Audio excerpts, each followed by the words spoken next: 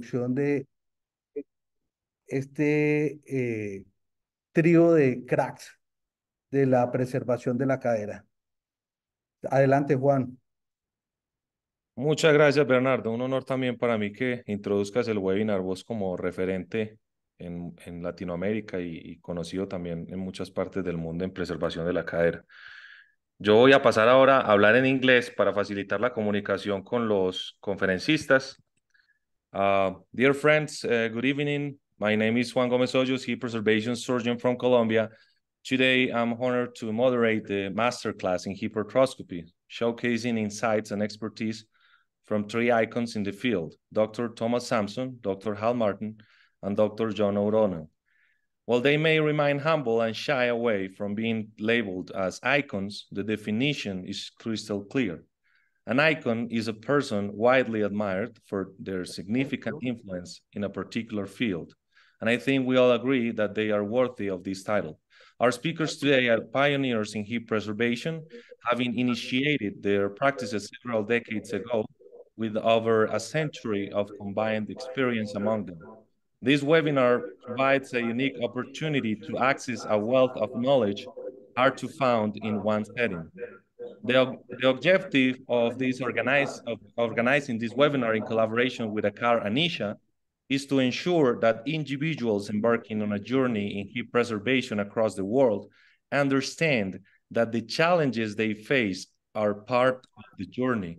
Indeed, we are probably in the golden age of hip preservation with advanced understanding, tools, implants, and solid scientific societies. Imagine how hard it was to start a hip preservation practice in the 80s or the 90s. Limited understanding, lack of specialized tools and implants, absence of hip preservation societies, and many colleagues calling you crazy. It is important to be grateful to those who pioneered the field and faced adversity and did not give up. Our esteemed speakers are here to recount their journeys and impart invaluable lessons. So without further ado, let's get started. Our first conference is by Dr. Thomas Sampson, uh, a visionary in hip preservation surgery. Dr. Sampson's main role in establishing hip arthroscopy as the gold standard in America is unmistakable. His passion for hip preservation ignited during the mentorship of Jim Glick, the father of arthroscopy in America, and, and Dr. Sampson innovation in developing the lateral approach revolutionized access to the central compartment, necessitating collaboration with industry to pioneer specialized equipment. Through the 90s, he helped to develop several technique, techniques as capsulotomy and femoroplasty, femoroacetabular impingement. Currently, Dr. Sampson serves at the Veterans Administration Hospital, specializing in hip arthroscopy and anterior total hip replacement. Now, I invite Dr. Sampson to share his insights on his journey and contributions to transforming hip arthroscopy, from, from a criticized technique to a gold standard in the world. Please, Dr. Sampson, the floor is yours. Thank you so much, Juan. And I want to thank Juan Gomez and Bernardo Aguilar. Uh, so you just, you all know who are watching this tonight is that we are all good friends. And that's where we founded ISHA, the International Society of Hip Arthroscopy, now hip preservation based on friendship. And we hope that any of you who want to do this will become our friends as well. So um, what I'm going to do is talk a little bit about my journey.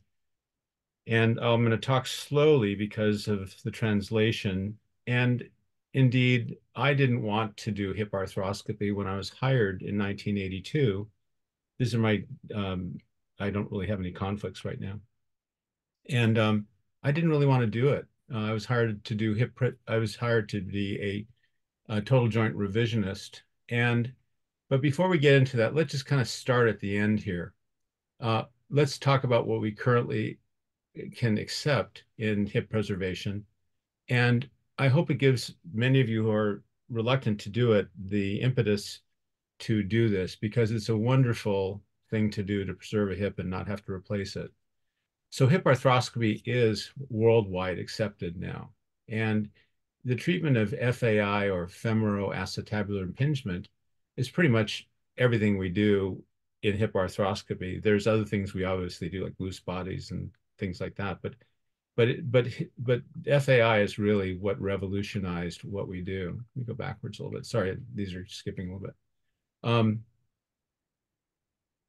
just skipping this one slide. Let me just hit this one. Okay, so before I get into what brought us here, the future of hip preservation is, is fantastic. Um, you're all young enough to be able to go into the science of cartilage and you'll be able to change genetics with CRISPR. You'll be able to change morphologic problems. I think you're gonna be able to prevent arthritis even before my lifetime ends. And it's all based around FAI. You're able to repair the labrum, you're able to reconstruct it. Um, you can probably refine different types of cartilage damage and refine what you're going to be treating. And I think you're going to be able to preserve the holy grail, which is cartilage. So the first traction device kind of looks like our shoulder traction. This is us in 1977 when I was doing my first hip arthroscopy with Dr. Glick as a resident. And since then, and you can see it's a it's a uh, it's done with ropes and pulleys and on the right side's the shoulder, the left side's the hip. We just took it from the hip, uh, from the shoulder. But now you have new tools. You've got computers, the internet, 3D printing, and all kinds of stuff. And then you also have tools to do computer assisted surgery, which is not quite uh, as prevalent in hip preservation just yet. But stay tuned. I think you're all going to be doing that in the future. And then, as I mentioned before, you're going to have all these genetic um, scissors that you can cut and paste different parts of genetics to get rid of the bad stuff and give us the good stuff and create um, create cartilage. So early on, it wasn't accepted. I mean, these three people on the top of the screen are really the people you should, you know, worship in the in the halls of the history of hip arthroscopy. And the one in the middle, you probably don't even know, but the one on the right is my partner James Glick who got me into doing this, dragging me, and I was kicking and screaming, not wanting to do it. Burman never really did a hip arthroscopy uh, other than on a cadaver, but he's credited with the early hip uh, arthroscopies. And then down below is the three people, myself on the left, Tom Byrd, middle, and Jim Glick on the right. And I think that it was Tom Byrd who was also very academic and also promoted doing more meetings along with Jim Glick that really got this whole thing going in the early 1990s, and he's the one who repopularized the supine approach. So that's where the beginning started. And how we got started was just had to figure out a technique. We had to create instruments. We had to develop traction. Um, we also had to deal with other problems like complications and insurance didn't pay and people sued us if they didn't get a good result because it was experimental. My, my chief at UCSF say, why look through a keyhole when you can open the door? That's from Bill Murray. And then here I came after, I actually started doing this as a resident in 1977 as an intern, and then again in 1981. But Jim Glick is the one who really pushed this forward, and he's really should be credited with really getting us going. And then we developed the lateral approach together, and we figured out a better way to do it. The supine approach that Jim had tried just failed. He couldn't get in. So since I was trained as a lateral hip surgeon, I figured, well, maybe there's a better way to do this. So we developed the lateral approach and we went and got a cadaver, figured out the portals, and the rest is history. So we published on it and people got interested. Primarily, the first things we did with it is take out loose cement from total hips.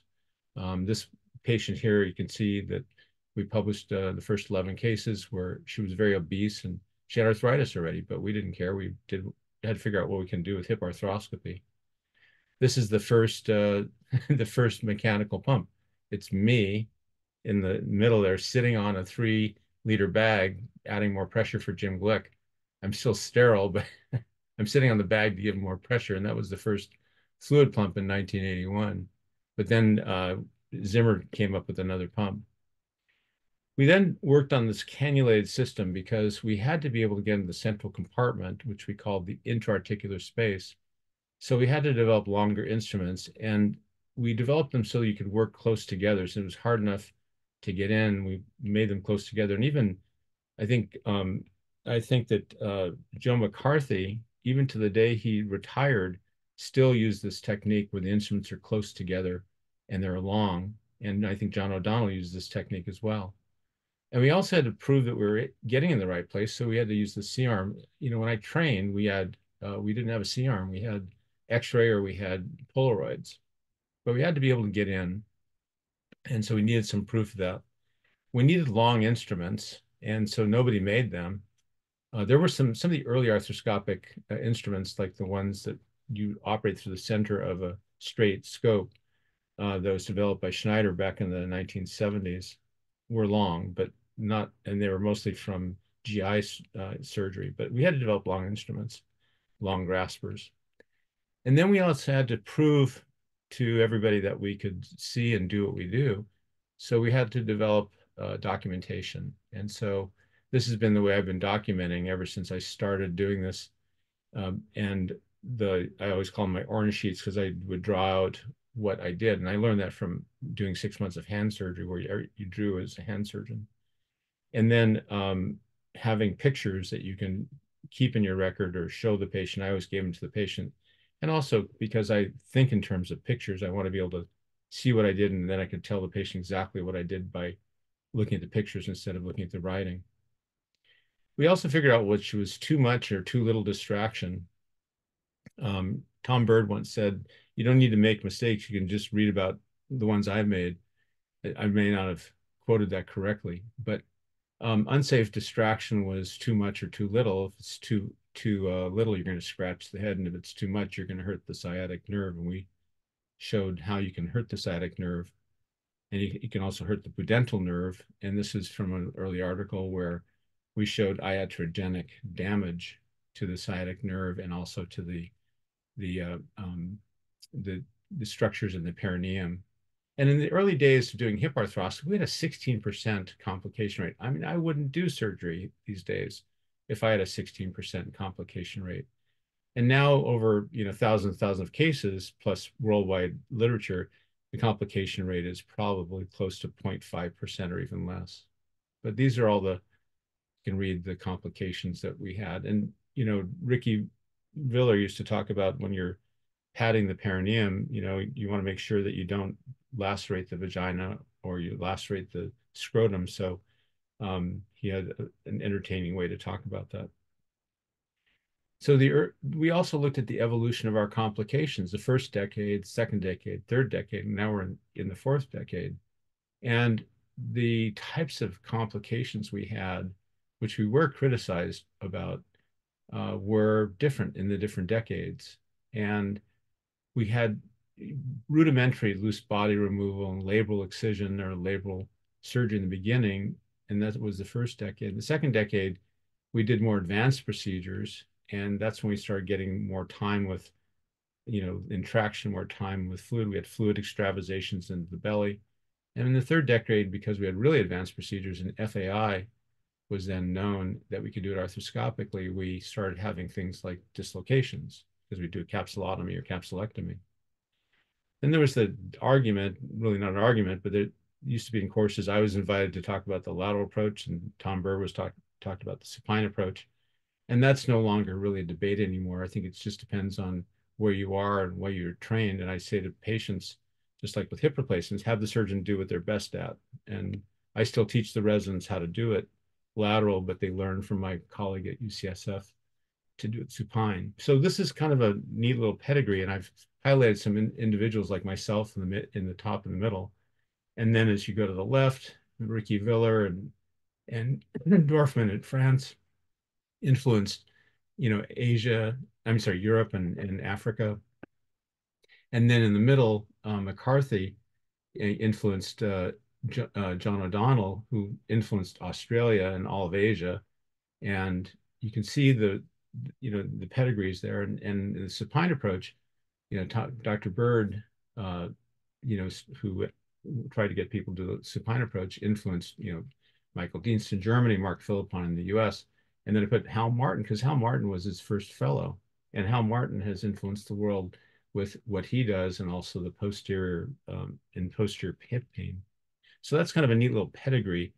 And in 20 years from now, this will no longer exist. And, you know, one one's going to be at the top of this list in all of Central and, and South America. And, and uh, Dr. Aguilera is going to be in there as well. So we'll all be gone by that point.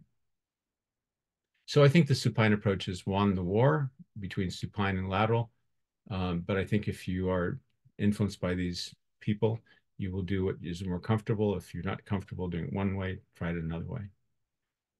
So years ago, we were told that it's procedure looking for indications. And I know this is a small, very dense slide, so don't try to read it, but uh, suffice it to say that we had fewer indications in the early days, and we have a lot of indications these days.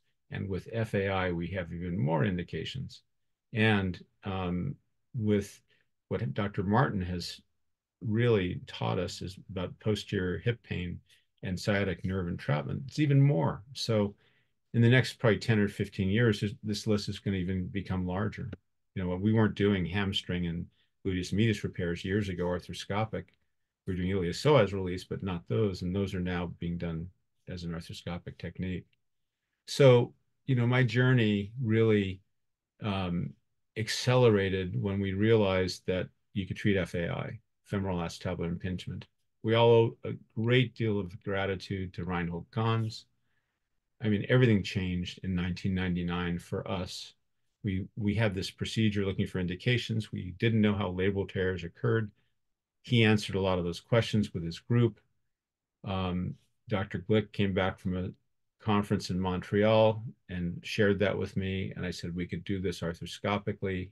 And he said, let's figure it out, just like he did 20 years before to figure out hip arthroscopy. So we figured it out and started doing it.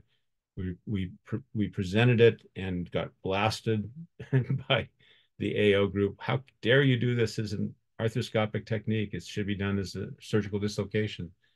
But all those people in that picture were critical of Dr. Glick and myself in 2003 when we presented to them. And now everyone except for Jeff Mast, unfortunately, is deceased, and Dr. Ganz no longer operates. But the other three, it, all are doing arthroscopic surgery for the same reasons that they criticize us for. But they were worried that we would kill the femoral head. They were very careful about preserving the lateral epiphyseal branch of the medial femoral circumflex artery. In arthroscopic surgery, you can see it, you can avoid cutting it, they used um, laser Doppler to figure out if they had killed it with the dislocation. So then came capsulotomy, and I had to prove that we could do capsulotomy and get a great exposure, do the same surgery, and not hurt the patient. So, um, see what's going on here. There. So we developed this basically the way I do anterior total hips, capsulotomy, same way. And just had to teach, learn and teach how to recognize the structures of the external part of the capsule arthroscopically. This is all done as an arthroscopic surgery, not as an open. But you can see, you see the same structures as the open procedure.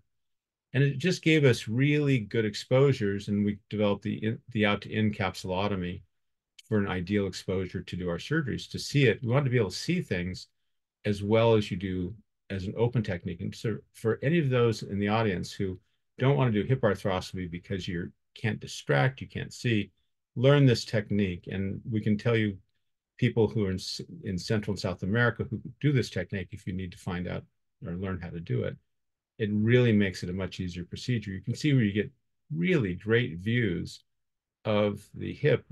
I typically will look all the way, do the capsule all the way down to the intertrochanteric line, all the way above the labrum, and we get these views. So on the left is the open surgical dislocation.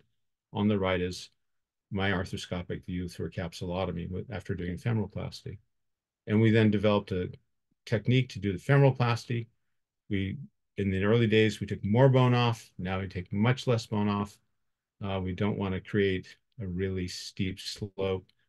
We learned how to look at these, uh, the hip fluoroscopically before and after, so we could prove to ourselves that we took off enough bone and also make sure there's no more conflict. There are programs. I know Stryker has a program you can pay money to use the, the C-arm with. I don't use it. I've tried it and I found that it didn't help me that much more. But again, can help some of you if you need to, to see if you're taking enough bone off. We did have some dislocations. I've had three. and, you know, um, this is somebody who I did right after I gave a lecture on capsulotomy without complications, and then went back and did surgery at bilateral, and she popped out. We put her back in, and she's never dislocated since. The literature um, has been wonderful. It's been vast with Tom Byrd's book starting in 2003. I tended to get the hard subjects on decision making. You know, if you have arthritis, how much arthritis can you have to to do the surgery? Research was just launched. It's it's robust. The literature is dense these days. There's a ton of literature on on hip preservation. Marc Philippon really was one of the major contributors to literature, and he you know, was with Freddie Fu. Unfortunately, Freddie Fu passed away, but everybody, you know, except myself, both John and Hal are, are, robust in their contributions to literature. Um, I remember when I first met uh, Ben Domb, he wanted to be a hip preservationist. Said, if you want to do this, publish. And now he is the number one. Um, he gets more articles published in the journal than anybody else these days. Um, another person you probably don't know about is Gary Poehling on the far left. He was the editor of the Journal of Arthroscopy. He was a hip arthroscopist as well. He helped us get things into the literature, and obviously Ricky Villar on the right. Um, the reasons many of you don't want to do hip arthroscopy or hip preservation is these patients are demanding. They'll take an hour and a half of your time as a new patient. They'll bring in the literature. They'll ask you questions. It's not just like somebody who has a torn rotator cuff or a torn meniscus, doesn't take any length of time to, to figure out what you do. They're demanding. You got to really want to do it. So this is a picture of, of um, Damian Griffin and John O'Donnell. The Warwick uh, agreement is what helped us get these things paid for. The Warwick agreement, if you haven't read it, look it up. It's free. It tells you about what is FAI, what are the algorithms on how to treat it, and when to do physical therapy, when to do surgery. It's a wonderful, um, wonderful document. And if your insurance companies are not paying for the um, hip, hip preservation, show them this agreement. It's worldwide. So education, we've been teaching about this now for a long time, really over 30 years. The hip uh, at the uh, Learning Center, at all the meetings, at ISHA. Industry was slow to start. Now they're robust. They give us a ton of money for our meetings for for ISHA. Um, my curiosity was what led to where I am today. I was I'm a very curious person, and I don't want to go through all these little details here. Um, but the procedures that we developed over the years uh, were because of curiosity and how to do something better. And a resident asked me, "Can you do that arthroscopically?" Or a patient asking me, "Can you do that arthroscopically?" And the answer was, let's figure it out. And curiosity is what got us to, to do this um, and helped it become accepted. I think FAI is really what got it accepted throughout the world. It's a very exciting time for hip preservation. All of these people, Isha is one of a picture of one of our meetings. All the people down below are the ones that started it. The ones in the bottom right are the ones that started the um, the international organization and um, you can see the people in the bottom right are are uh, still well. Most of us are retired now. I'm still still working at 70, almost 73, but I'm only working at the VA. So um, this is what I want to do more of in the future, which is do a lot more hiking and biking. But I still love what I do, so I'm still working at the Veterans Administration, taking care of our vets and teaching residents and students. So that's a little introduction, and um, I'm glad you've all joined us tonight, and I hope you will all consider doing this. And if you're having problems doing it, call one of us or ask one of us to see if we can help you. Thanks. Thank you, Dr. Sampson. That's uh, mind blowing to Thanks. Yeah to see to see history described by the one that made history. So thank you, thank you so much. You're so welcome. So, uh, our uh, next conference is uh, by Dr. Hal Martin. We have uh, to the privilege. Let me let me change. Let me change something here. Sorry. So uh, Dr. Hal Martin is next. We have the privilege of hearing from Dr. Hal Martin, a distinguished figure in hip preservation surgery and renowned for his prolific contributions as both an author and a surgeon, Dr. Martin's expertise extends to the management of intra and extraarticular pathologies, making him preeminent authority in the field. Commencing uh, his practice in 1991, he's well recognized for his profound understanding of anatomy, biomechanics, and extraarticular pathologies. Dr. Martin currently divides his time between Cambridge, Massachusetts, and Cape Cod, where he focuses on research, education, and orthopedic consultancy. His expertise in extraarticular hip pathology is unparalleled, and all hip surgeons will be forever thankful that he didn't give up on his dreams so we could help, help hopeless people uh, with now clear diagnosis and treatment, treatments that didn't exist before. Dr. Martin has prepared a presentation for us titled Extraarticular Hip Pathology, sharing my experience in pioneering a new frontier in hip preservation and overcoming resistance to change. Please, Dr. Martin, we anxiously await your insights.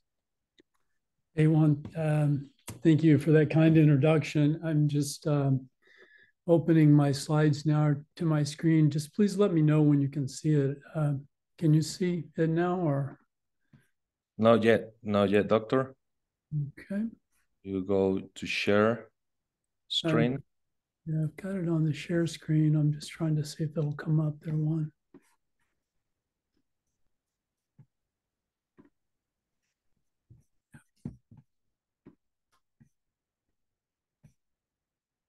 Perdón. See?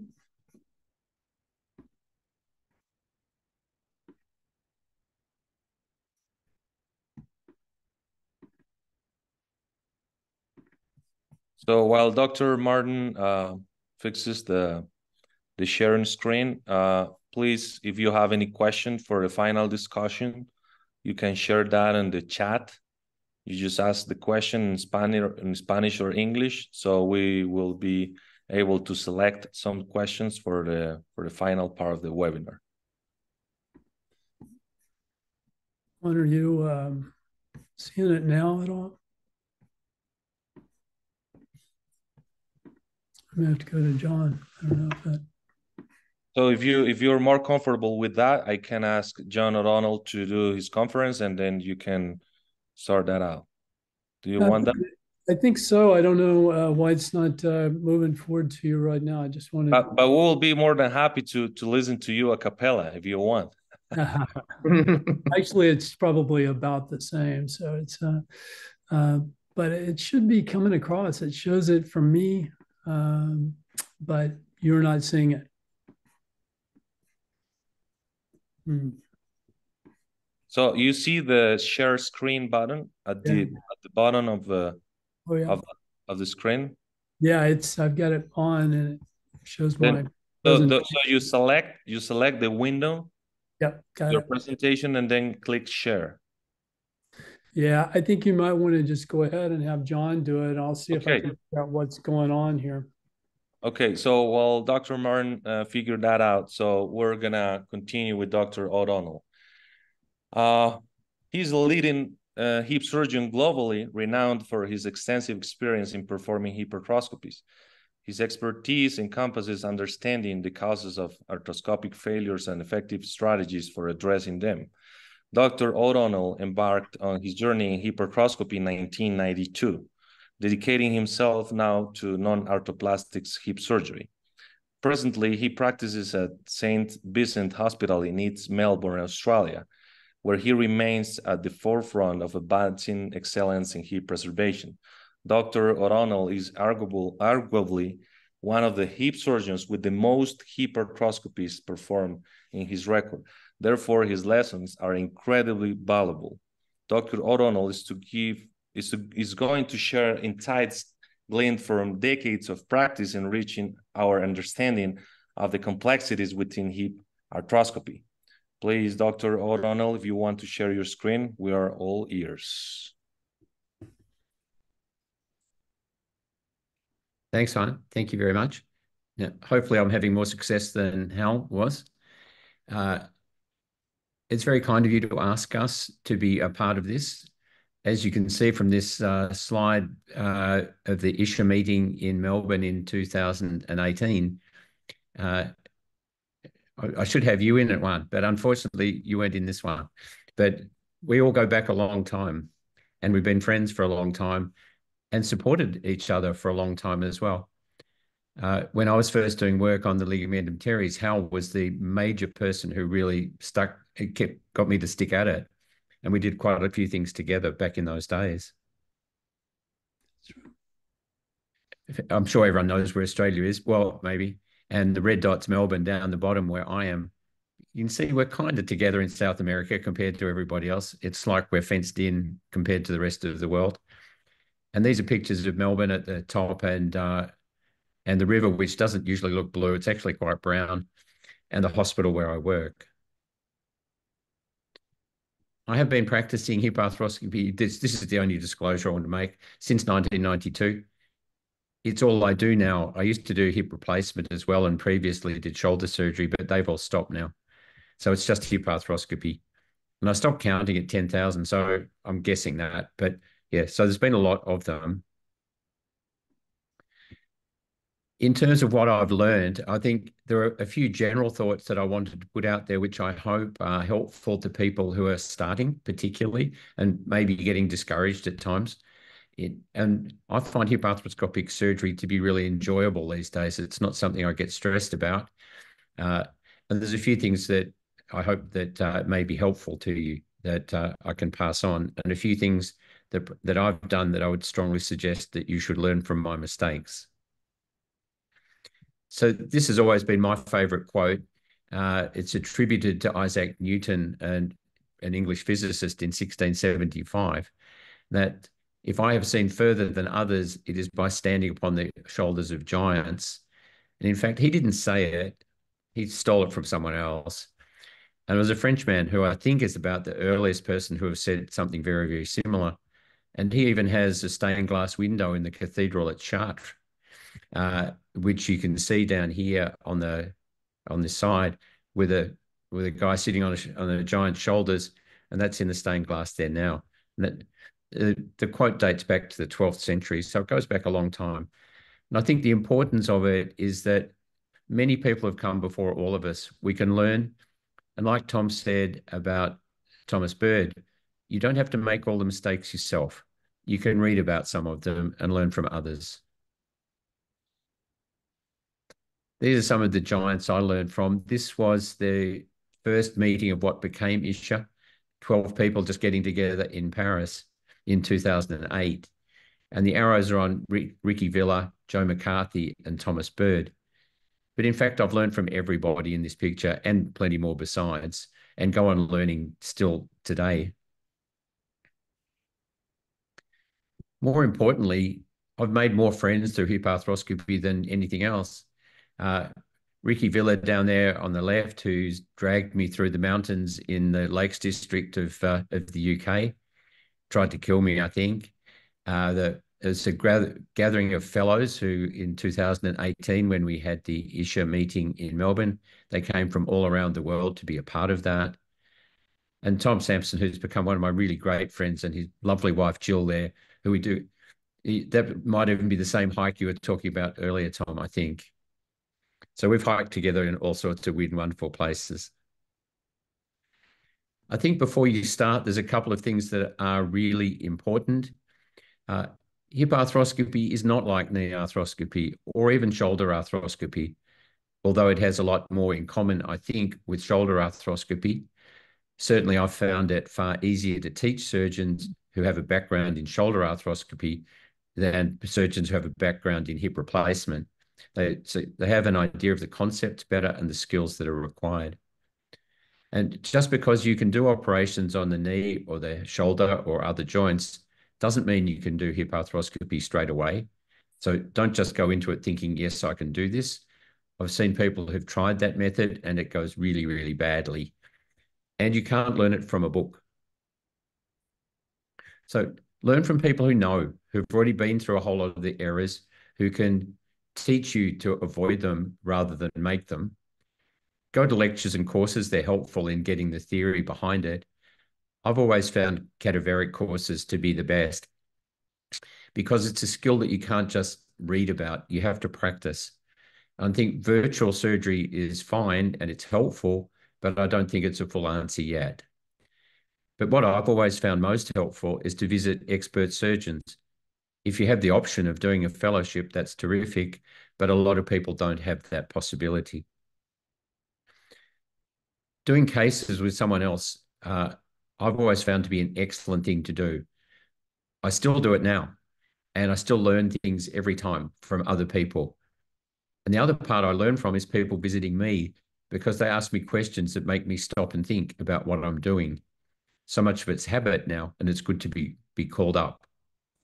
And there's a, lot of terrific hip surgeons in South America. So those of you in South America have plenty of people to visit uh, and learn from, and you know they are really excellent, uh, excellent teachers down there. So my early cases uh, were difficult, a bit like Tom. We had to make it up as we went. So I had a senior colleague who I worked with who taught me knee arthroscopy and shoulder arthroscopy, and he'd actually done two hip arthroscopies, but he said he would never do another one because it was so hard, and he strongly advised me not to try. And I had Tom Sampson and Jim Glick's paper, which was the one that Tom showed you before. So I read that, and that was basically all I had. And the rest of it I had to kind of figure out by myself. So that was Tom and me. Uh, you know, we've got lots of hiking pictures. I promise not to show you any more, but uh, but it is wonderful to have friends who you, you can talk about all your, all your problems, and not necessarily you know at a meeting, but at times when you're just relaxed and together. I find that's when I learn most because people are, are very happy to share their experiences. So this was how I started. We had an old fracture table. We put a bit of extra padding on the post. I didn't have a lateral setup in those days. Uh, we sort of had a bit of a guess where to put the portals because uh, that seemed to work on cadavers. Uh, I didn't use that very anterior portal, but that was more a marker to say, don't go that far. And we mainly used those two just at the front and back of the, of the trochanter. We had longer telescopes. They were old Smith and Nephew uh, video scopes. Uh, we had, a, had some curved shavers uh, a flexible cannula. It needed to be flexible to get the curved shaver down it. We had some modified diathermies, which were pretty crude, and we had knee instruments, and that was about it. But that was terrific compared to this guy. So Bernie Inoda, who's in the picture with me there, in 1978 did the first hip arthroscopy in Australia. And that was to remove a piece of broken cement from a hip replacement where the hip replacement had dislocated and they couldn't relocate it properly because a piece of cement had broken off and was blocking the reduction. So he was asked, would he did he feel he could remove this with an arthroscope? He was doing the arthroscopy at that time. And so he made these instruments himself. The pituitary rongeur obviously existed, but all of the others he made himself in his back shed and sterilized them and did the operation and successfully removed the piece of cement and uh, things took on from there in our country. But you do need adequate instruments. I think making them in your back shed is not really a possibility anymore. Be properly set up. Trying to make do with poor instrumentation is a really bad idea. The operation is hard enough at times anyway, and good instrumentation is critical to making it as easy as possible. I think when you're starting, it is really helpful to have good patients and a lot of people I know thought that they would start with people with arthritis. And I think that's a really bad idea. Firstly, you probably shouldn't be operating on them anyway, in the majority of cases, because hip arthroscopy is not a great operation for arthritis. And they tend to be quite stiff. And they also tend to have a lot of pathology. And so to try and do that when you're first starting, I think is really, really difficult. And I would strongly suggest you don't do it. I think women tend to be easier to operate because they tend to have more laxity and they can distract their hips more easily. You get a better view. They the pathology tends to be smaller often. Operating on cams is is fine, but try to choose them when they're not too big and too extensive, uh, because that gets quite difficult as well. I think joint arthroscopy in any joint the, the key to being able to do it properly is to be able to see well. And if you don't have excellent visibility, I was taught if you can't see it, you can't fix it. And I think there's a lot of truth in that remark. I think start with a technique that is simple, reproducible, and allows most procedures. There are many, many techniques that people have for doing hip arthroscopy, almost as many techniques as there are surgeons. But I think learn one, choose one that suits you, and then develop your own uh, changes from that. But start with something that's very, very standard. My problem always was to be scared of traction. And I know Tom talked about too much, but I think you're far more likely to get into trouble with not enough. So the picture on the top left is uh, in a hyperlax patient. So you wouldn't normally expect to have that degree of distraction, and indeed you don't want it. Uh, but so we took subtraction off after seeing that, and we had very little to start with. Uh, sometimes you find that with the deformity of the hip, such as this old Perthes, that and with a high trochanter, it can be quite hard to get into the hip, and you need to actually plan how you're going to do it I think often in that situation, having less abduction of the hip is really helpful because abducting the hip raises the, the greater trochanter and tends to block off your pathway into the hip. And the picture is of a posterior portal, which is often quite tight. And you can see when there is little room to, to move, it's so easy to cause damage to either the articular cartilage or to penetrate the labrum or do other or cause other problems. So I think adequate traction is really important. These are the portals I use. This is a live person, but she's just set up as if she was in a lateral position. I just have these two very simple portals, one at, on top of the midpoint of the trochanter and one about three centimeters off the front of the femur. And I use that for the great majority of what I do. And I don't swap portals around. I just keep the telescope in the mid one. And in the great, great majority of patients, that is very adequate. So this is what we see. Is and so Tom showed a picture that showed something very similar with the telescope and the instruments in the front. I think it's important, don't angle your telescope in too far forwards at the start. You'll be hard up against the anterior wall of the acetabulum and it's hard to see. You need to be back a little and getting a field of view. It's hard to make sense of this, but these are the two extra portals that I do use reasonably commonly. So more distal portal for introduction of uh, drills for insertion of anchors and a posterior portal for getting to the posterior inferior part of the acetabulum, as you can see down here where we're removing an osteophyte with a chisel. Uh, I do use this more distal one for inserting the anchors because it's really important, obviously, to be diverging your drill away from the articular surface and avoid uh, drilling into the acetabulum. And it's important to have that starting angle correct. And so you need extra portals to do that.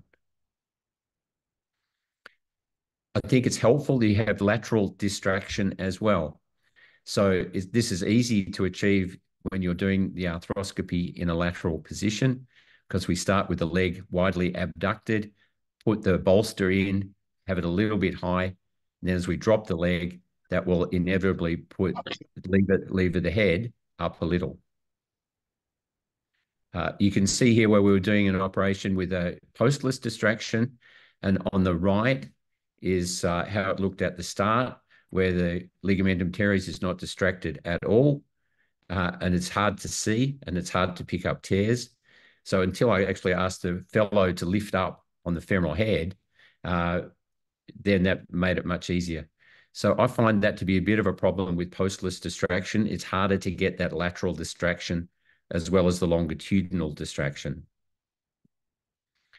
I try to avoid using cannulas as I find that they just tend to stiffen the tissue effectively and make it harder to maneuver uh, maneuver instruments within the hip, although there are better ones now. Uh, but the stiff ones I use for tying knots and uh, passing stitches through labrums, but otherwise I don't use cannulas and I prefer to use something like a removable half circle or less cannula, like the ones on the left, which have a, a series of, of different lengths that you can put on the same handle, or the Smith & Nephew one that Victor Ilizaliturri designed many, many years ago. I find traction stitches really helpful because I think you want to minimize the amount of capsulotomy you do. Other people like making really big capsulotomies and stitching them up. I'd rather make a smaller one and often not need to stitch it. This is just an example of that. You see, after we put the stitch through the, the cut edge of the capsulotomy, they're sitting there. As we lift it up, you can see in under the capsule. And as we take the traction off as well, then that can open up that whole field of view really well with a relatively very small capsulotomy. I like to use an unhooded burr because it doesn't catch the soft tissue. Uh, and I just find that the hood tends to block my view at times. So this just allows a better view. You can see, without going on about it, but you can see we can cut bone without picking up soft tissue. Uh, and I'd much prefer to use that type of burr. The areas where I think great care should be taken are particularly hyperlaxity. I try to be, I always do a Beighton score on patients first to see if they're lax.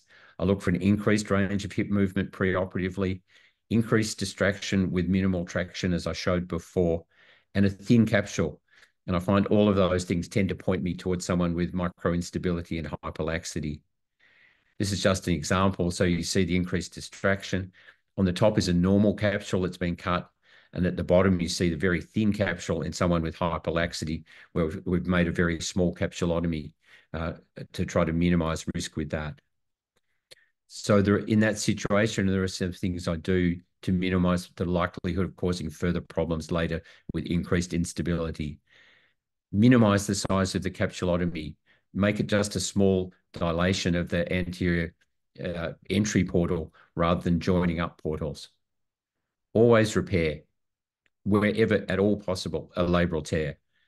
Be particularly careful not to over resect a cam as uh, losing that suction seal by having too much bone removal can be a major problem.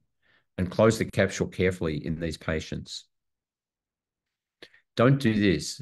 So this was a patient who was sent to me. I've got some of my own that I'll tell you about in a moment, but you can see what's happened. So she's had an arthroscopy. That's her x-ray down the bottom uh, prior. Uh, she's had her labrum removed, the capsule not repaired, uh, it's just scarred tissue at the front and an over section of the cam, uh, in which is debatable whether it was really cam anyway, but it's certainly not now. And there's, so there's a big resection that's been done. You can see with just minor rotation or flexion of the hip, there's this big gap in the edge of the acetabulum where there's nothing. And so there's there's very little holding the hip in now apart from muscle. Everything else has been destroyed. And she went on to have a hip replacement at a very, very young age. I think when we first started doing labral repairs, we were all worried that they wouldn't heal. And I think pretty much everybody was very conservative at the start. And I know that I used to put people on crutches with a period of protected weight bearing for up to four to six weeks. But I pretty quickly found out that that was a really bad idea. And that led on to a, far, to a really high incidence of capsulolabral adhesions, causing pain and stiffness. And when we got MRIs of these people at that time, almost without exception, the MRI said that there was either failure of healing of the labrum or a re-tear. And so we had a small series where we re-arthroscoped them with the idea of re-repairing the labrum. But in fact, what we found was they were all healed. There wasn't a single one where the labrum hadn't healed in spite of the MRI report. And what they had was these adhesions like this band here, you can see which is attached to the labrum. So as the hip is moved, the, it, the capsule pulls on the labrum and it's painful, but it also restricts movement. And so we found that, that that was the cause of the problems, not failed labral healing and inadequate early movement greatly aggravated the likelihood of these things occurring. So we moved from that to immediate mobilization and range of movement of exercise. And Marc Philippon popularized the idea of circumduction exercises, but I think it's just the range of movement that's important, and getting people off crutches quickly uh, has greatly diminished the rate of uh, adhesions and these problems. The other thing I think, which I found has helped me uh, minimize this risk, is using smaller and smaller anchors with smaller drill holes. Uh, so I think that drilling into the uh, subchondral, beyond the subchondral bone and into the marrow, uh, is likely to lead to very active cells getting into the into the clots and leading to more scarring. Pincer resection, I think, is still an evolving art. Uh, how much bone do you need to resect is important. Do you need to detach the labrum? uh, can we minimize post-labral repair adhesions by minimizing uh, the damage that we do, and if possible, by avoiding the use of anchors altogether. So this is what we try to do. If the cap if the chondrolabral junction is intact, uh, then and not too much bone removal is required, then we leave the labrum uh, through the chondrolabral junction intact, and we do all the work behind that. So you can see this here a bit better, I think. So we're burring with an unhooded burr. The labrum's on the left. You can see it. Oh, there's labrum there. We're removing bone from behind it. The burr doesn't pick up the labrum. It doesn't cut it. Uh, and we can remove the bone from behind it. We can't leave a large area of, of articular cartilage just flapping in the breeze, but so long as there's not uh, too much bone removal required, then I find we can do this very often. And then I prefer not to put any anchors in at all uh, and just leave the, the labrum sitting, as you can see on the right. Don't worry about the movement, but this is just another case where we've done the same thing. But you can see what happens to the labrum four years later. It heals really well. The other, other point I would really like to make is that not all CAMs are pathological. I see a lot of people who've had CAMs removed where I doubt that they were really causing much of the problem. When it's thought that perhaps 25% of men have some degree of CAM present, and most will never be symptomatic, it's very easy to blame them for the problems that we might identify when in fact they're not the cause. So just because a patient has hip pain and has a CAM it doesn't necessarily follow that the cam is the cause of that pain, nor that removing the cam will do any good either. Particularly beware with female patients with hyperlaxity or microinstability and what are thought of as small cams. So this lady had been told that she had a cam, which was this. But in fact, if you draw the circles on, you find there really is no cam. It's more there's deficient bone, which is giving you an illusion of a protruding piece of bone. It's not truly a piece of extra bone at all. And I'll just finish with uh, with an, a great error of mine. So this was back in 2012. You can see on the right that the the that this patient has a degree of uh, dysplasia and a, and a dysplastic femoral head, but which I called a cam. Uh, I removed it. This is it here. This is the area of bone that I removed.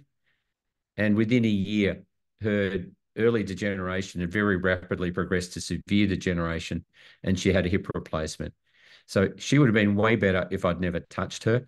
Uh, so I think you do need to be particularly careful with people with a degree of instability.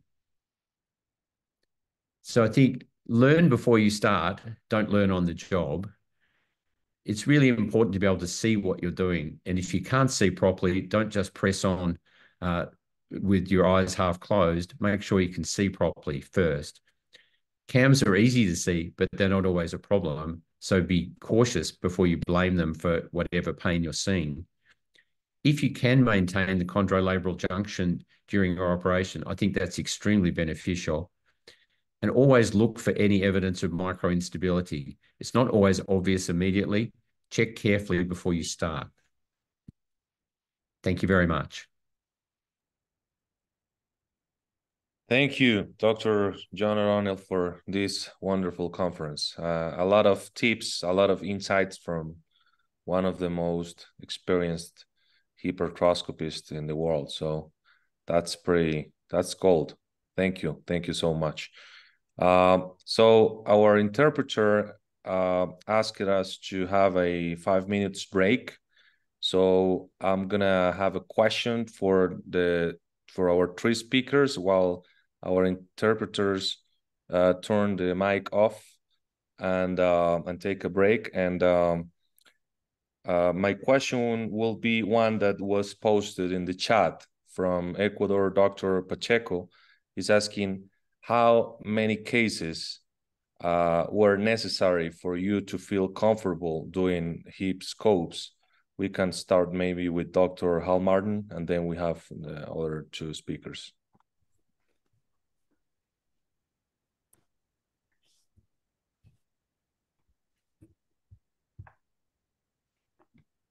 Doctor or Dr. Hal Martin, can you listen to us? Yeah, yeah, I can. Can you, you, you listen to the question? Yeah, I did uh, a little bit. One, you might repeat it. I was just getting ready to share my screen, but I think I can't Yeah. share it right now.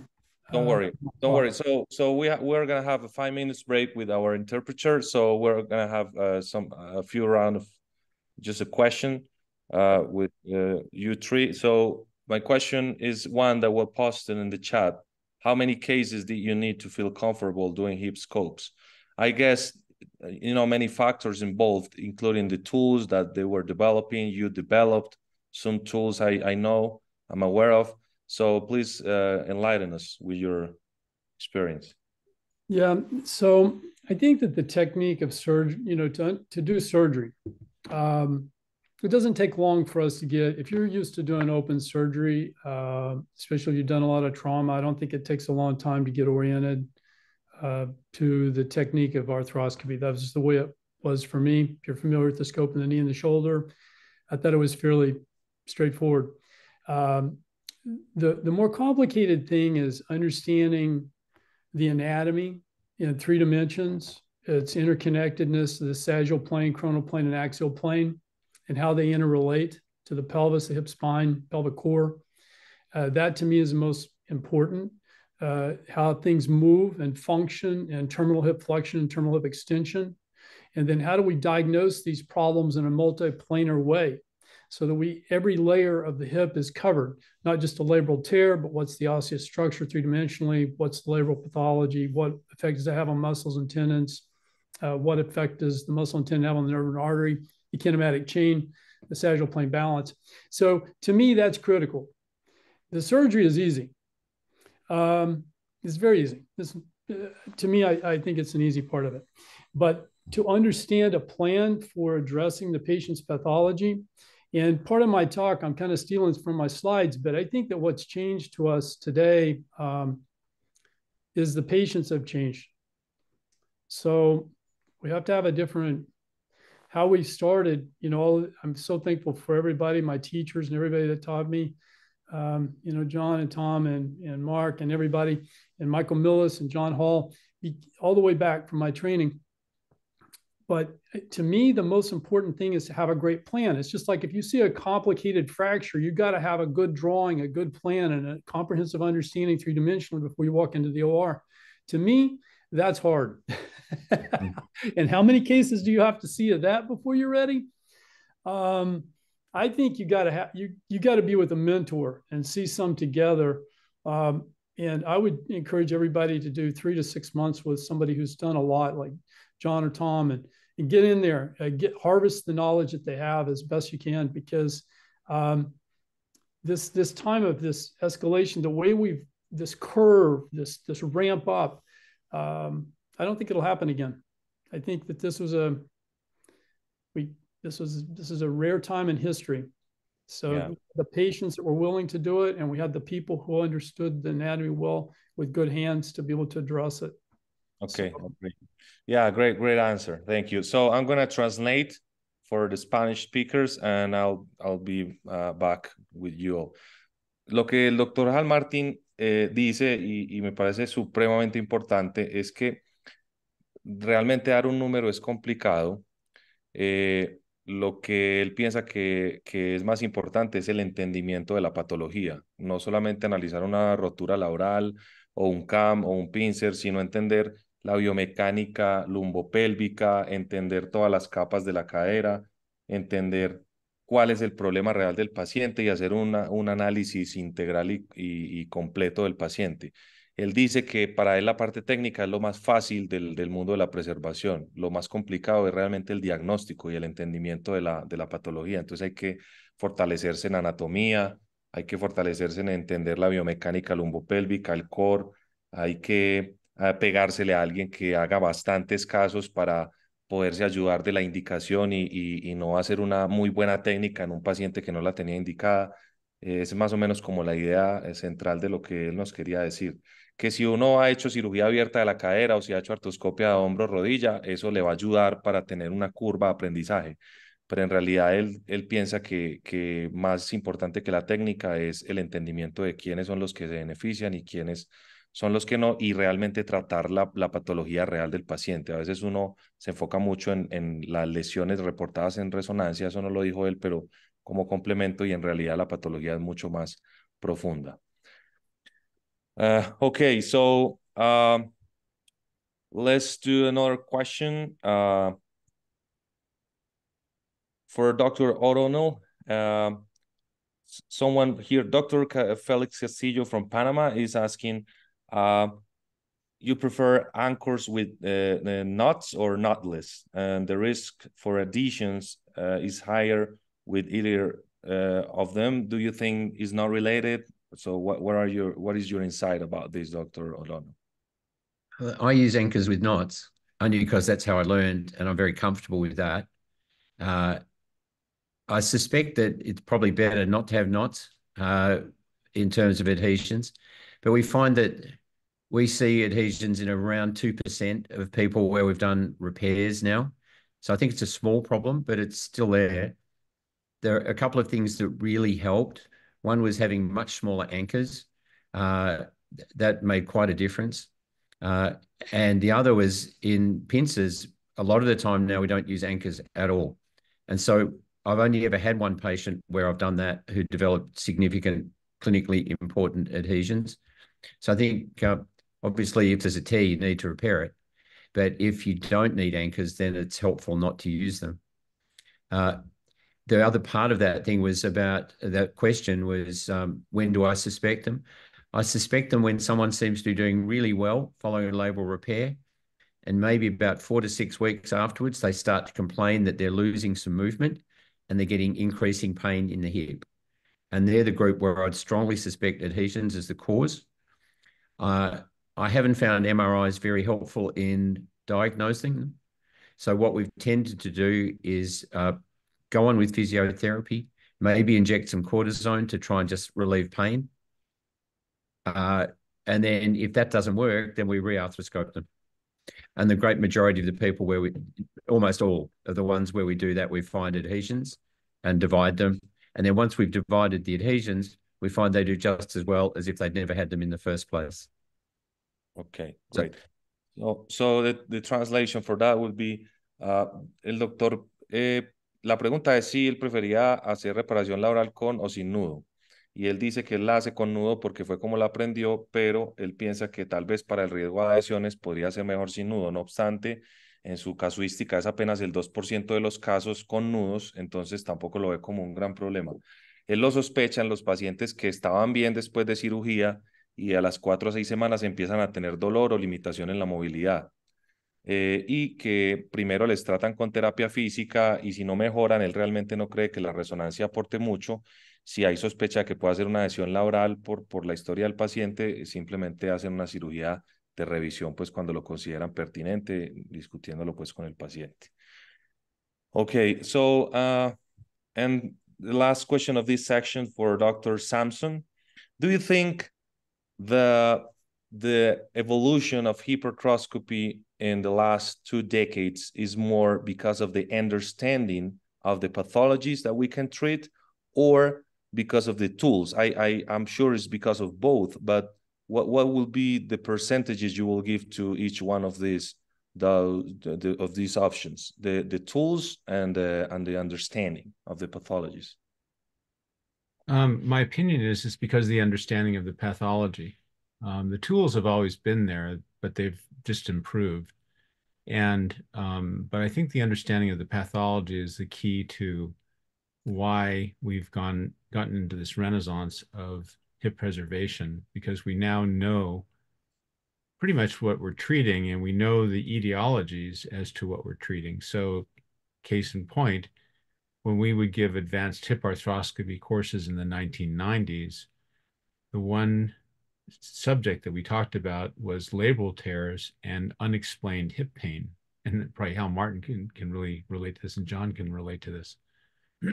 and uh, so I think that when we understood FAI, we began to understand what caused labral damage because we then understood how the pincer could destroy a labrum or a cam could destroy the labral cartilage junction and delaminate the articular cartilage.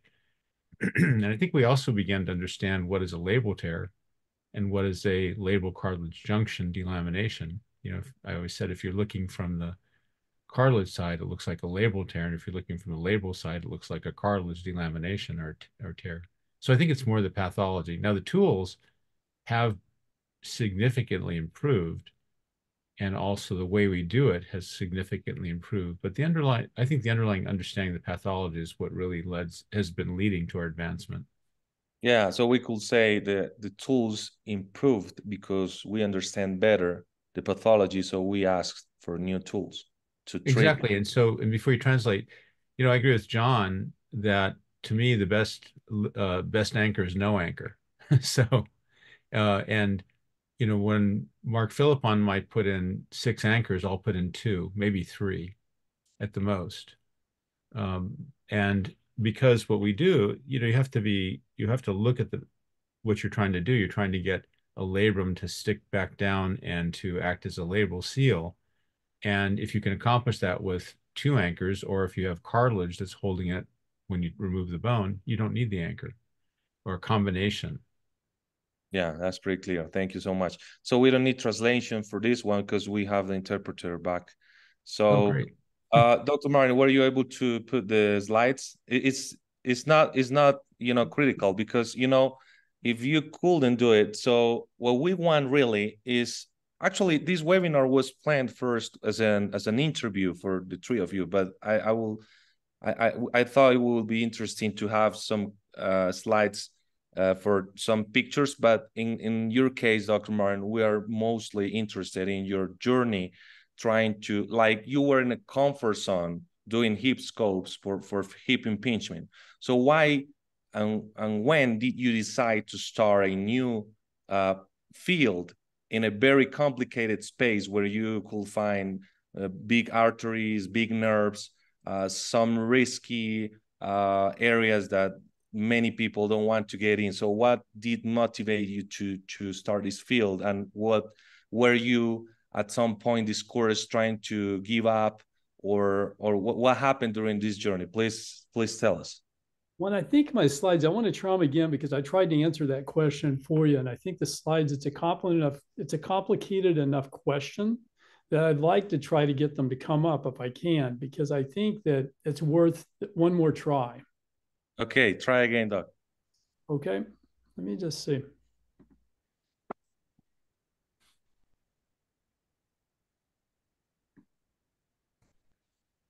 Yeah, it's not coming up. So, so, so when you, if you look at the bottom of your screen, if you, you see a green button that says share screen, do you do you see that? Yeah, it's not coming up in my um, on my screen though. One, it's not. It's um, it says says basic and I've got it says desktop and it doesn't so why so what what is it too heavy? Because you can you can start talking you send that to me via email and I can share that. It's I send it to you. So you have it. Um, you have it really? as a so if you want to just pull it up I think you've got it there. Um, I'm sorry. yeah but that that's that's good. So I'm gonna download it and and I'm gonna put it uh, in the share screen for you. But but if you want, you can start doing an introduction about the question I just. So made. what? Yeah, I think that that's what's um, what's good here is um, is the question one. I really enjoyed the question, um, and uh, to try to figure out what is the you know what has been the journey on the extra-articular space and I, i'd have to say that it's been it's been a different one. You have to understand the background of a little bit of where I've come from. You know, I I um, I started my my training, uh, you know, at Oklahoma State, my pre med, my medical school. Then I went to. Um, you can go to the second slide there if you want. Yeah, I, I got it. Uh, where? Sorry, slideshow. Hmm. Play, mm. play from the start. You see it? Yeah, I can see it perfect. Yeah, you just let me know when you want to go. Give you one of those, but uh, you can go uh, on to the next slide. Sorry, everyone. But I kind of I started, you know, at Oklahoma State, and um, that's that's from my home, and then I went to Doctors Hospital. But I had a really great thing during my training. I got to go to uh, Boston Children's uh, with John Hall and Michael Millis And uh, I spent every Monday driving down to the University of Cincinnati to work with Alvin Crawford and Dennis Roy uh, at the at the Children's Hospital, trying to understand complex cases. So I, I really enjoyed that from the beginning, trying to understand things that had a bit of a challenge to them. I, I went back to Oklahoma. I, I kind of forego a couple of fellowships for some family things. And uh, but I went back and I joined a really great group, and I got exposure to trauma and sports medicine did also something to help me to understand three, three dimensional pathology in a Ilizarov fellowship in uh, 95 in, in Lecco, Italy. Um, after that, I, I, talked to Freddie about doing just a sports, fellow, uh, sports fellowship, and he wanted me to do hips. And I knew Mark from uh, when he was his time at Harvard uh, with Henry Mankin. And so went there for a year and then spent another year with he and Brian came back and taught at the University of Oklahoma for the hip pathology series, and then became the medical and research director when you joined me, uh, Juan, at Dallas. And we had a kind of an upslope uh, through understanding of those years. So you can um, take the next uh, slide there, and and you know what what I did is try to organize my research, uh, looking at anatomy, biomechanics, clinical diagnostics, and outcome, and that's the way I always have, have done it all the way back since I was uh, in Boston. I felt like anatomy was the key to understanding the evolving and evolving field, and then try to apply the biomechanics to that in three planes. And that, that really helped us to help to make some papers to give some foundation for the exploration of, um, you know, the posterior hip and the lateral hip, uh, which I didn't feel like we understood that well. And uh, but it led to some publications and and even the opportunity to help uh, with ISHA as research chair. And my goal as research chair, um, which I had opportunity to serve under some great presidents, but I just wanted to provide a shelter from the extrinsic factors so that the field could continue to grow. Now, I never really expressed that too much, but my, that was my goal. I felt like it was a, a fledgling field just beginning, and we had a lot of criticism from a lot of people in those days and uh, I, I, heard a lot of it. Um, but I, I feel like that we are able to do that. So it led me to uh, working, and you can go to the next slide, and to working as a reviewer, editor, worked on some different types of things uh, to help protect the field from an editorial standpoint. And you can go on. But this is the big concept that I came through, and this is partly from Brian Kelly and Pete Draovitch, but we were all part of that conversation when this is evolving, and that's the layer concept of what's happening. And so, from the osseous, the capsulolabral, the musculotendinous, the neurovascular, and then finally the kinematic chain. And Michael Millis, the big thing that's different today, the evolution. I once asked Dr. Byrd, I said, Dr. Byrd, do you think that hip arthroscopy would have evolved if it would have been invented today versus when you started? And he said, I'm not sure it would. That's a big statement because the world has changed because of layer six. I think that just the resiliency of the patient, the resiliency of the doctor, this has had an influence on our ability to tackle bigger and bigger pathologies about the hip as we've started to understand the interrelated complexities. So it's really a cascade of pathology that we've come to recognize from the bones to the capsule to the musculotendinous to the neurovascular and then the kinematic chain. But the problem that I see is that if the muscles are weak in the pelvis, that can tip your pelvis, then you can lead to impingement, and then it can cascade the same pathology. So you can go from a layer three to one and then layer layer three one can create two. So it, it, you can have these little ebby flows instead of things cascading in a normal fashion one two three four five six. They can actually kind of one layer can affect the other, but you have to have a plan and a structure for addressing all the pathologies. And if you don't, then we will get, be criticized that we induced a pathology that was there from the beginning when we did not. So that's the reason a comprehensive examination has to be a part of it.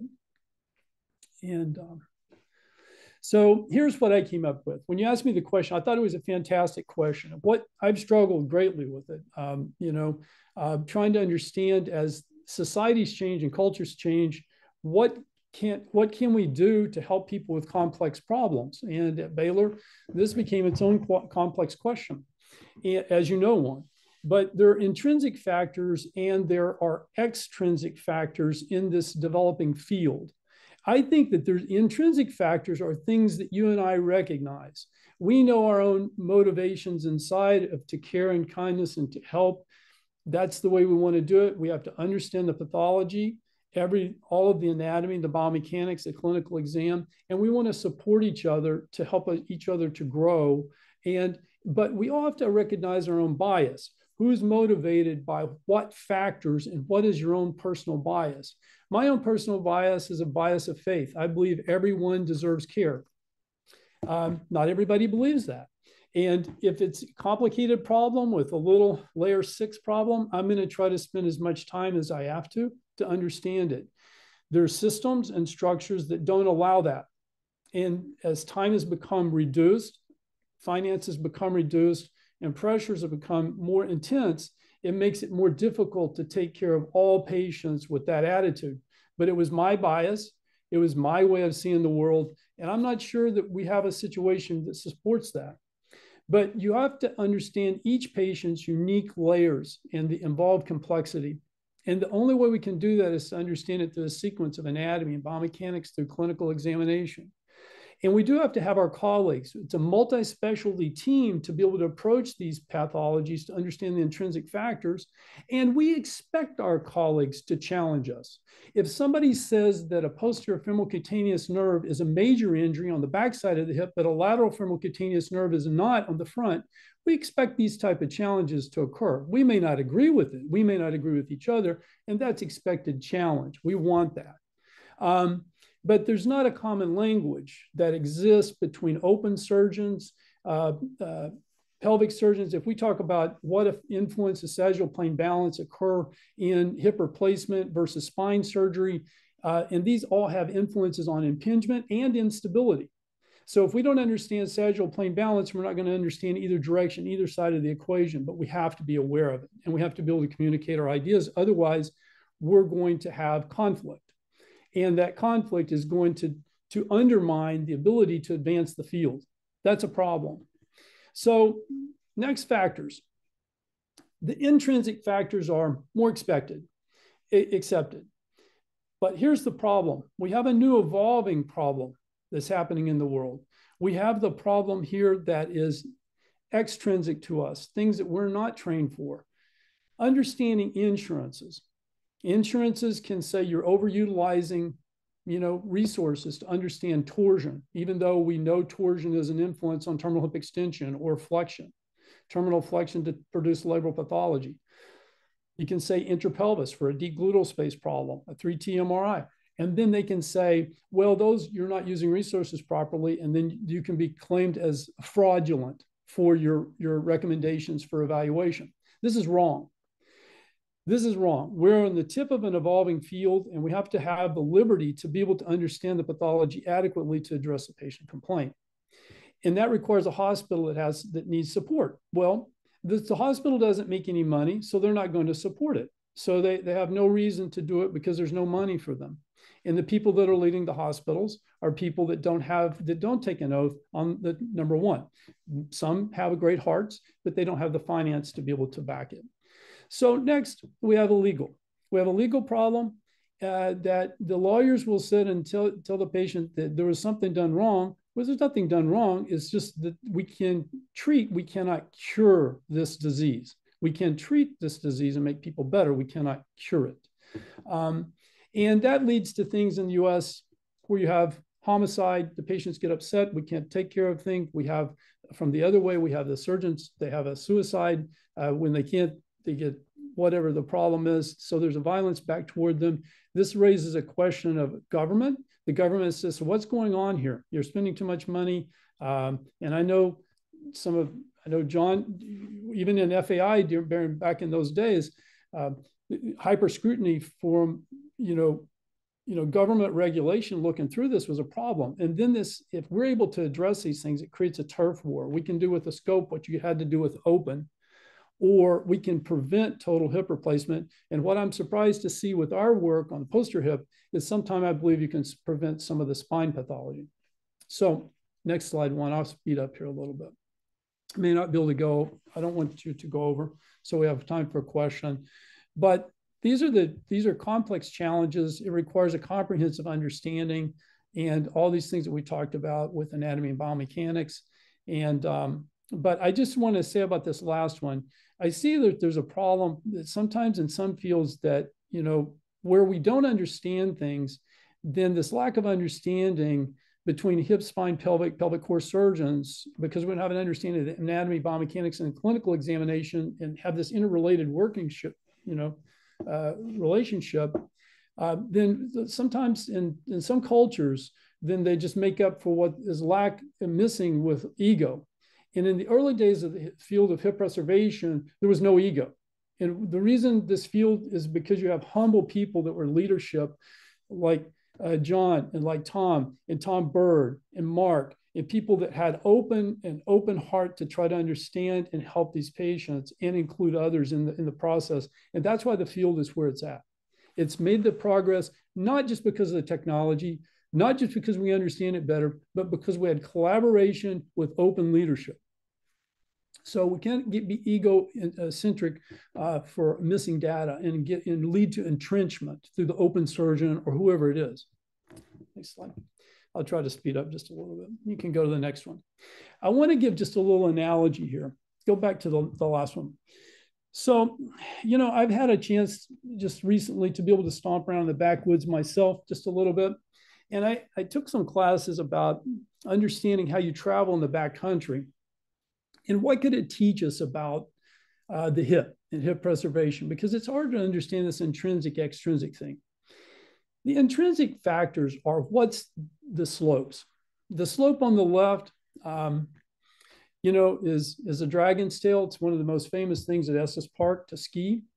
It's an isolated terrain. And you can stomp up on this, this, this, this little dragon's tail. They're almost the same slope on the left as to the right in the trees. But the slope on the left is isolated terrain. It's a single track through the snow, protected on both sides, and it's pretty safe. The one on the right side is interconnected terrain. It's interconnected because the snow's piled all the way across the face of that mountain. And if you go ski the ridge on the right, you come down through that area, you can wind up in an avalanche field. And it's the same slope, different terrain. One's interconnected and one is not. I will tell you that as hip preservationists, we ski interconnected terrain because of the hip, spine, pelvic core. And anything that we do on the hip, but we need to record the spine. It's interconnected. Let's go to the next slide. This is one of the intrinsic factors here for, uh, you know, challenging fields. This is a little slope like I used to, to love to ski. Um, you know, it's, um, it's gentle. It looks gentle. It's just about 35, 40 degrees. And um, you look at your own personal source motivation. Do I understand it? My bias to this. And, but this is a type of slope because it's interconnected, you have to be aware on. So take a look at this next one.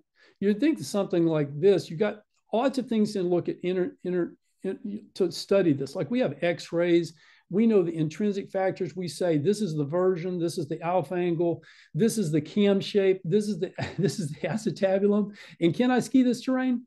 Maybe.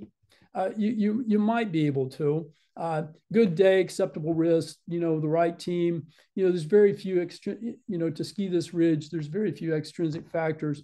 But you know you've got to be aware. This looks steeper, more deadly. Uh, like you ski that, you're gonna you're you just got to be on your edge. You got to be on it. But is this is is this a risk to you as the surgeon? No, it's not going to be any risk or to the person who's in that area. Next slide. Coming coming closer here. I just want to say hang fires the bit of snow. So you're stomping around up there and your partners just get caught or you see somebody down below you that gets caught in a big avalanche. You know what they teach in the avalanche schools? They teach is the field safe to enter? Is the posterior hip safe to enter? Is hip arthroscopy safe to enter? It depends. Everything is changing. Society is changing. There are a lot of factors extrinsically that are not the same as the intrinsic factors. Hang fire is the amount of snow that's above the slope that's left after an avalanche. So if you see somebody, and we're rescuers, we go and rescue people out of avalanches every day. Every day we take people that are caught and we pull them out. But the problem that I would say about this is that we don't consider the extrinsic factors We just say, can we get this person out without any consideration to what it, the risk to us personally? They don't do that in other fields, not even in basic life support. Is it safe for me to go do basic life support for this patient? Is it safe for me to enter this field? And I want to tell you the risk to ourselves to take care of highly complicated people, highly complicated people in this era, we have to be very, very careful because of the hospital system, because of the legal structure, because of the insurance, because of the governmental oversight, because of the violence that goes on in the internet against doctors or in their office. We have to consider something that we have never considered before. And I'm the last person that would I think to say this. I'm not saying not care. I'm saying what we do to help. Can we jump into the avalanche field? Because sometimes we may find that the patients have a, a piece of rope connecting each other that we don't know about. They have lawyers saying, just stay in place. We'll bring you some hot chocolate. We have a hospital administrator say we can't send the hospital, we can't send an, we can't send the helicopter. And and that's that that's the problem. And then you have the government going, what's going on here? You know, this, this doctor is clearly the problem, where it's the entire system that's the problem. It's not the doctor in there entering the avalanche field trying to get complicated disease uh, patients out and be healed. So that's what I think that that that sort is this field safe to enter? That's my question. Let's go to the next one. When I first started doing endoscopic sciatic nerve decompression, it was just a part of what I did for FAI. It was not anything different. A lot of my cases had FAI, they had hamstring syndrome, they had other things. We had fairly good outcomes, not perfect. But the difference between if somebody functioning with a 55 Harris Hip score and 78 is a big deal. Not working, can't live, can live. Other people, including Bernardo, had we improved to you know some pretty we made 20 point scores that, that people improved but that's even without recognizing interpelvis problems or secondary deep gluteal syndrome, which I'm sure I missed. I think probably others, but we got people better, but we did not cure them. As John Christoforetti says, they're better, but not all better. And who's responsible for the not all better? That's what we have to be aware of because it's getting to be a challenging and extrinsic environment where not like it was when I started. Even in 91 when we're taking care of uh, World War II uh, and, and military people all then. This is a different question. Can we get them? And a lot of patients are reporting, or people are reporting from 80 improvement to 100. That's great, but it's a different class of patient than 50 to 78. That's just a different group of people. Next slide, one.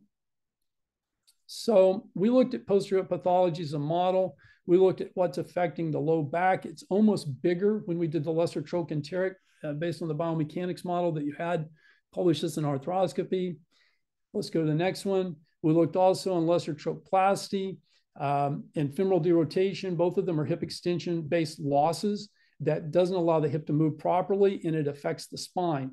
It's bigger, it's almost bigger effect in the, in the ODI uh, sometimes than, than it is with um, the hip scores uh, to fix the hip. And we need to, we need to be tracking that. Next slide. So you know, here's is it safe to enter the avalanche field to rescue this patient? Can we do it today? Can we go into the posterior hip without understanding comprehensively the anatomy, the biomechanics, the clinical examination, the diagnostic strategies, the way we have in the past, in the early days of, of when we were first getting? We cannot.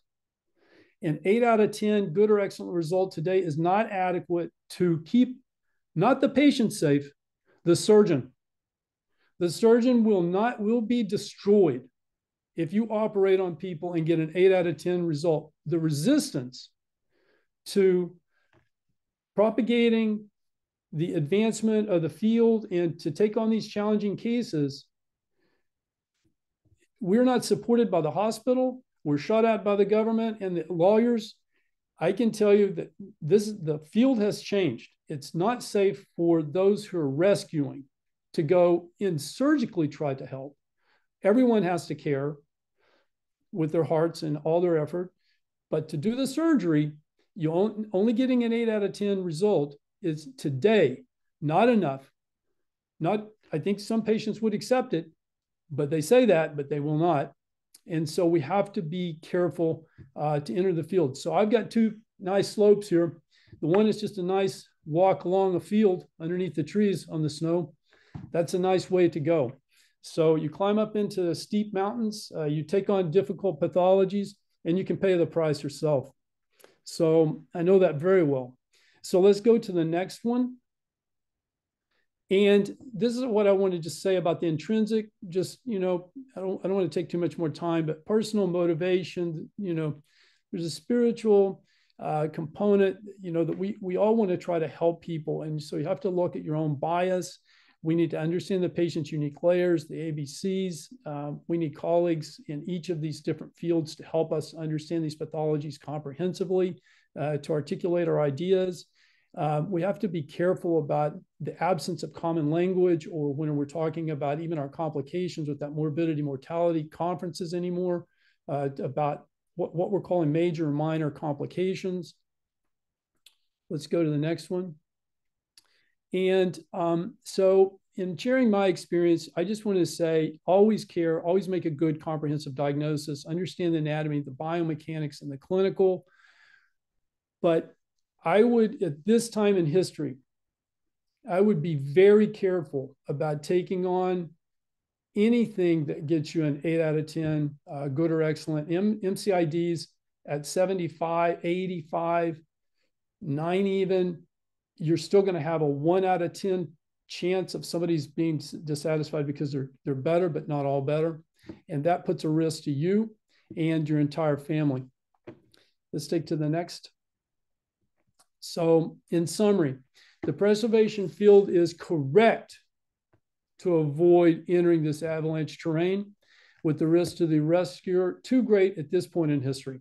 Maybe it will change in the future as we address these extrinsic factors. But if we don't, don't go there. It's too it's there's it's too much uh, it's too much on the rescuer. The time, the complexity, the lack of support, the cultural orientation are against us.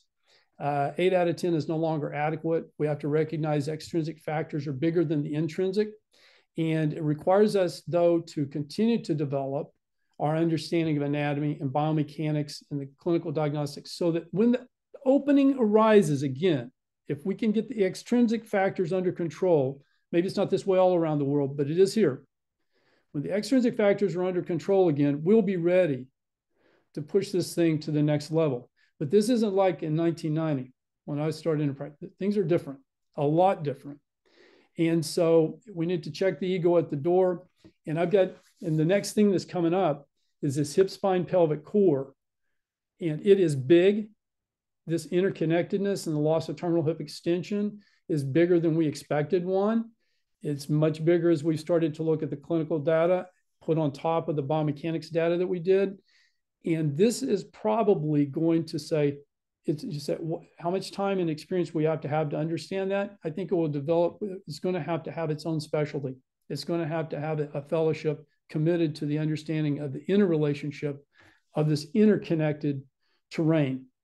Just like you would have to, if you're going to be a mountain guide, you have to understand all the mountains, not just the chutes where they're safe, but the interconnectedness of the whole thing. And we have to be aware that it's this uh, you can you can just operate you can just operate on one layer and think you're a hip surgeon or a neurosurgeon or whoever. That you don't understand the whole entirety of it. Or an inner pelvis surgeon. You need to understand all the layers involved. If we don't uh, the patients will not be served. Last little slide. So i thank all my colleagues but I, I guess my last slide didn't come up. That's okay. But that's it uh, for tonight. I thank my family and one, I thank you and everybody for staying late. I apologize for taking a, a little too much of everybody's time. No, it was perfect. Actually, I, I paid a pretty, yeah, yeah, it was pretty attentive to, to your uh, conference. And I, I could say, well, you, in the, in the summary will be good faith is not enough. Uh, but it doesn't mean you shouldn't treat these patients. You just have to make sure it's safe to go. And it's not just about the anatomy and biomechanics or the complexity of the problem itself, but also the personality of the patient and the context of the case. Uh, so the, the takeaway will be be trained, properly trained, use the the right tools because you cannot do deep gluteal space in a obese patient with short cannulas or short lenses.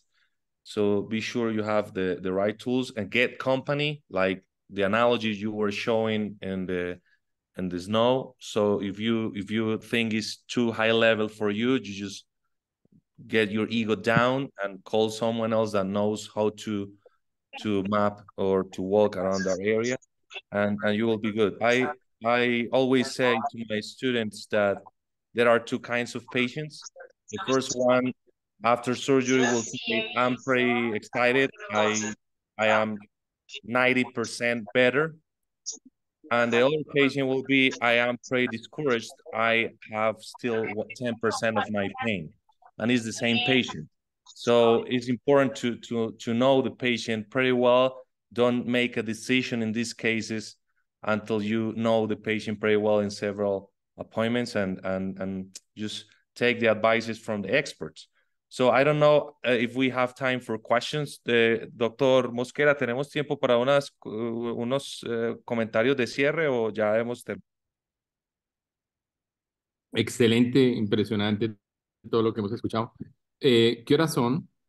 Porque el tema es la traductora que no sé si tú... Oh, so so we're good. So uh, I want to thank from the bottom of, of my heart to Dr. Hal Martin, Dr. Sampson, and Dr. O'Donnell for accepting this invitation. It is important for us in Latin America to to listen to you and to learn from you, the people who made history with this field. And please uh, stay in touch. Thank you so much.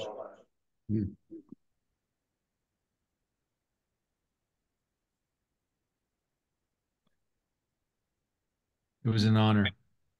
Yeah, thank you, doctor.